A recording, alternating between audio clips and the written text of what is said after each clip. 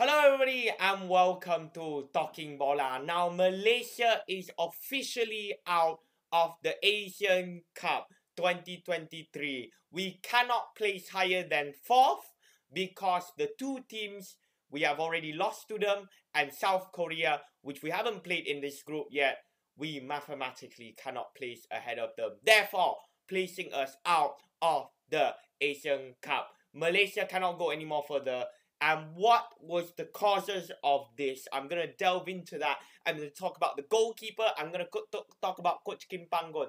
But first of all, I am so proud for, for all these players donning this very jersey for the first time since 42 years in the Asia's biggest stage.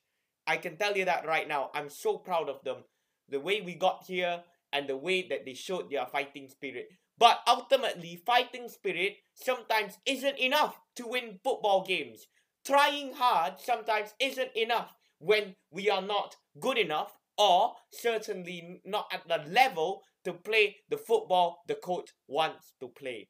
And there is a few problems with it. You can say that the uh, infrastructure um, is not good enough.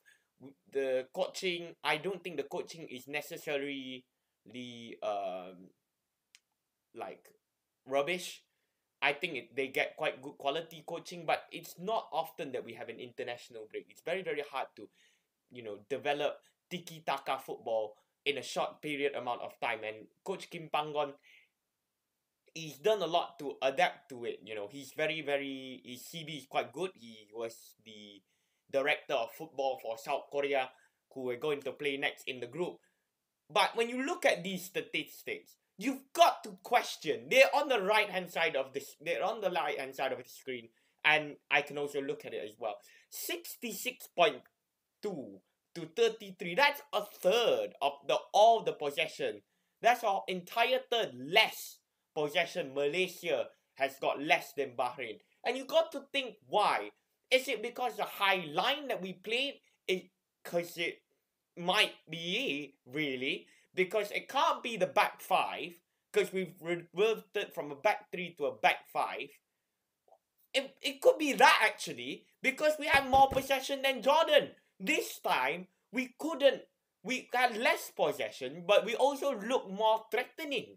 It's almost like the players they can't really switch on at, at, at a certain time. They switch on and then and then like stuff like that also i'm just very very disappointed i, I you know i i lack of words to go and you know talk more we had one shot on goal and my word that one shot on goal could have really changed this complexion of the game because Bahrain would have played a lot more differently. I can tell you that, that certainly. Because Paulo Josue, has had he be able to take that first touch, right? Had he been able to take that first touch first time, I, I think we would have scored. Easy. I would have scored from that distance. If you give me that same ball, I could have scored from that distance. You know.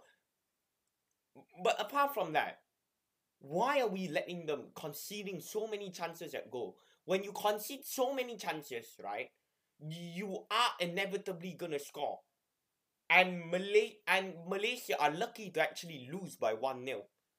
What by one goal, as opposed to three or four, because we could have really you know, do do do that. We could have really lost by that much. We it, it was just such a plucky result, and we've almost plucked out a one 0 win, and it's almost like very very frustrating. Uh, in that sense, we also couldn't create anything in the second half. The second, the first half, I was confident that from the very first half, right, from the first half, if we could play the way that we did in this we did in the second half in the second half the way we did in the first half i was confident that malaysia could at least get something. We almost just sat back at the back. We sat back at the back and we've just gone no we are going to settle for a draw. What is a draw going to benefit malaysia in this competition? We need to the coach yesterday said we are going to play our football sitting from the back after what you told me to, to what you all said about, oh, we want to play our way of football, scoring 4 5 nil. We had nil on the scoreboard. We had nil on the scoreboard. You couldn't, you couldn't do it more you, you, the words that he uses is sometimes very, very condescending. You know, it's very, very condescending, and and it's, you know it leads to a little bit of um confusion, and you go to go, hmm, that doesn't look right. Uh, we also con- we also conceded more fouls than Bahrain. It's almost like we're looking for for yellow cards. I'm actually kind of lucky that we didn't get more yellow cards to be fair because we were fouling here, there, everywhere, and I think only two players got booked. I think Syamer Kutty Abba and uh and the other one. But we we we lost we we lost that battle. We lost that midfield battle. Stuart Wilkin. I actually wanted to put him on the can improve list today. From from the man of the match to the can improve list. I really wanted to, but but I just couldn't because of that chance. Why would I put him on that list? I thought he would build on the progress that he did. Um, there was a lot of hype from him after that first game. He played really well against Jordan. He was probably one of the our best players. He was probably the best player on the pitch. But today, there's a lack of service. He lost the physical battle. And it's just, you know, he couldn't supply, he couldn't, we, the, all the journalists back in Malaysia, they were asking for coach to replace Syamer, to replace uh, Fazil, who couldn't sustain Stuart Wilkin to Syamer Kutty Abba because they play they com- they complement each other well. They used to play club football together. My god, what bollocks were they talking about? Because that was not complementing well each other. They had to get one off. They had to get what? They had to get Sami Kutty Abba off and he had to run around for the same pitch. You know, you see, uh, like websites, you know, Opta, he was the lowest rated player on Opta. He couldn't win a single battle against the Bahraini midfielder. Marhoon had in, in his pocket the whole game. He, he couldn't win that battle. And when you can't win that battle, you know, it's okay to just hoof long balls. Bahrain were just hoofing long balls. And and also that high line, you can't win that midfield battle. That high line, Dion Cools should have been punished at least two times in this game. I think of the one where the there was a lot of a penalty shout that um was should have been given to Bahrain in the first half and Dominic Tan, my god, Dominic Tan. I'll talk to him a little bit later. But Dion right? These players, a high line, you need to have players who can track that really, really quickly. And I don't think Dion Cools today he can do that. Certainly not Matthew Davies. I don't think he's got enough pace and maybe Corbin Ong you could say that, but but he look his engine looks looks a little bit worse for wear today. But let's talk about uh the goalkeeper. What a shit goal to let in at the 95th minute of the game. The 95th minute of the game and you've you've let in such a the, he needs to get his hands on it. And he needs to get his hands on it. You've got to be ready to put sacrifice your hands on the line. I can understand that, you know, in a split like that, you know, he, he had he made an important save just five minutes before and he, he was injured actually just before that situation. But it's the last kick of the game.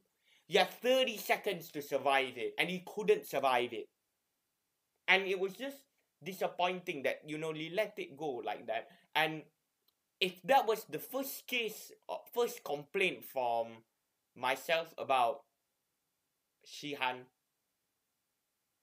you know it'd be less worrying. But when I've seen him make errors against India I've seen him make errors against Tajikistan positioning wise where he should be when I've seen him make errors against Kyrgyzstan where he dropped those two balls in the penalty box. Questions have got to be asked. Kim Pan-gon obviously likes him because he's always the first name to be uh, brought on the starting list. He starts all the time for him. But there needs to be serious questions asked on that because I, as far as I can see, right, I don't rate him. We need a shot stopper. If you want him to be your sweeper keeper, I in this game, in fact, in this tournament alone, I cannot see anything that he adds to this team. I cannot see anything that he adds contributes to this team in terms of you know high high line goalkeeper. He he doesn't. He doesn't do a thing.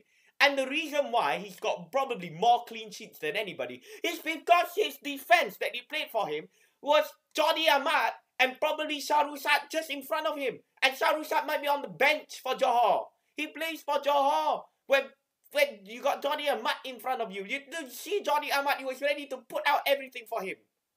Yesterday against Indonesia. Today, and, and that's why he can survive for that long. He can survive for that long in that defense because he, he doesn't have to do much.